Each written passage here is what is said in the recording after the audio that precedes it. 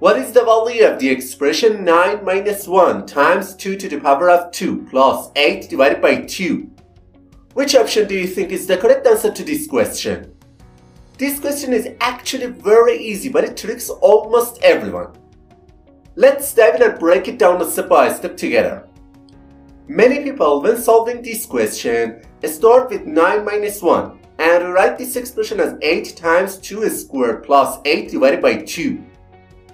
Then they move on to 2 to the power of 2, which I have highlighted in yellow, and replace this expression with 8 times 4 plus 8 divided by 2. In the next step, they usually go for the multiplication between 8 and 4 and replace this expression with 32 plus 8 divided by 2.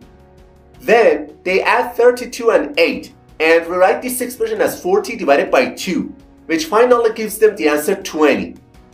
And without any hesitation, they quickly say that option D is the correct answer to this question.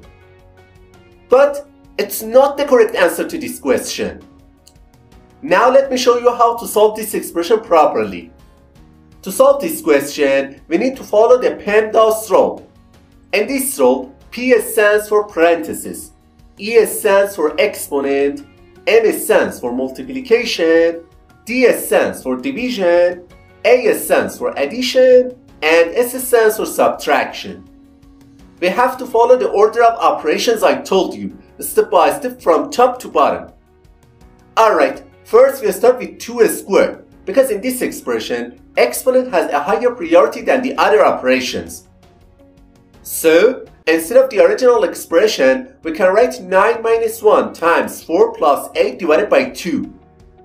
And the next step, we need to go for multiplication and division, since they have a higher priority than addition and subtraction. However, it's very important to note that in the PEMDAS rule, multiplication and division have the same level of priority. And all we need to do here is to move from left to right through the expression performing the multiplication and division as we go.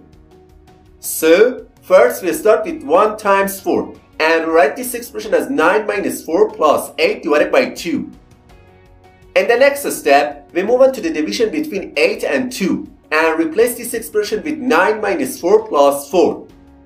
Once again, we should remember that addition and subtraction also have the same level of priority. And the best thing to do here is to move from left to right through the expression and perform them in order.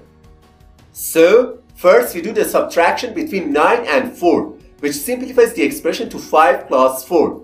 And finally, the value of this expression is equal to 9. Therefore, option C is the correct answer to this question.